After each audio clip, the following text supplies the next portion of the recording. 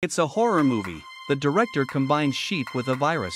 Two journalists infiltrate the largest farm in the region to investigate the recent spate of uh-huh. disappearances. And a man named Angus is the owner of the farm. In order to sell the sheep at a higher price, they genetically modified the sheep to create a zombie sheep, and every buyer mysteriously disappears. In order to reveal the truth about the farm to the masses, Carl and Experience decided to find the truth. They took advantage of each other moving goods. Carl stole the jar of experiments. They were in hot pursuit of Carl, and Carl ran wildly ahead of them. But the next moment, Carl tripped and fell, and the jar in his arms was shattered. Carl realizes the contents are gone. As he looked around, a mutant goat crawled up to, and it bit him right on the ear. Carl endured the pain before pulling the young sheep down. It wasn't long before, the young sheep came into a vast pasture. As the young goat let out a strange cry, a sheep suddenly came to the sound. The next moment, the lamb opens its bloody mouth again. And in the woods, Carl, his eyes were bloodshot, like when he's infected with a virus. He's in a state of panic. He suddenly caught a whiff of a tantalizing scent.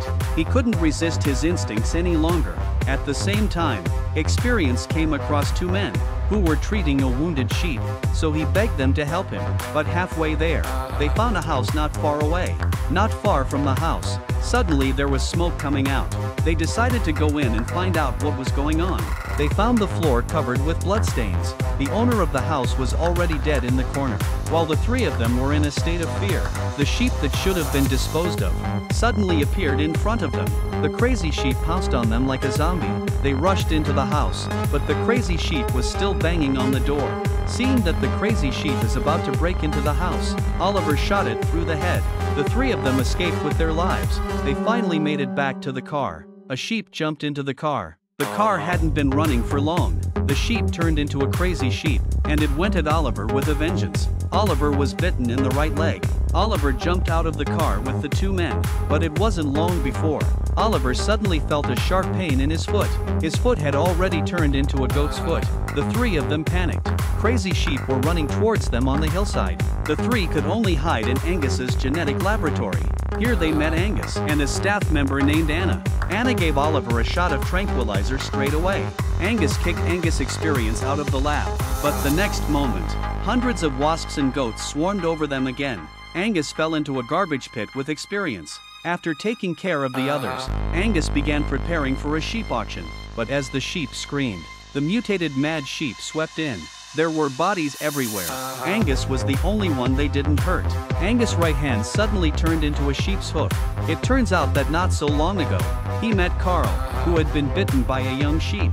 Carl knew that Angus was doing all sorts of illegal things, so he bit him on the right hand in a fit of rage. But in the face of such a ferocious flock, Angus and his team were clearly at a loss. In a moment of desperation, the farm steward opened the car door for them, and they were able to escape. Angus and the pair were taken by the housekeeper to a cottage.